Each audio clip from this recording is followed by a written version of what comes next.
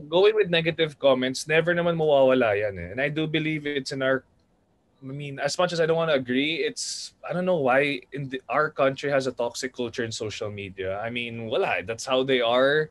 Instead of supporting, they say negative comments because I do believe people are more tough behind the keyboard, like keyboard warriors.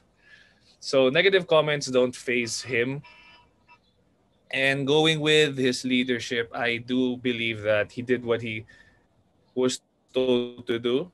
And for for people who know the sport, like you know, obviously basketball players, coaches, I don't, I've, I haven't seen any complaints from them. I haven't seen any bashing from them because they know he had a role.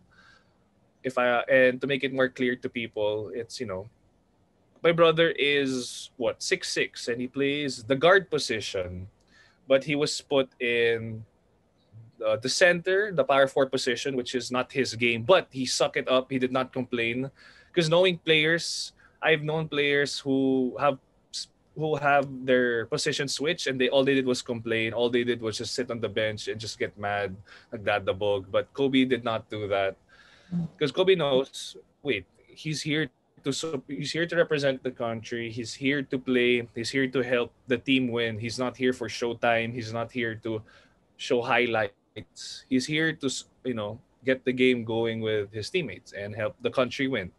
So yun, and I'm very thankful because Kobe's very mature. Well, he's never done that. He's never complained in his life.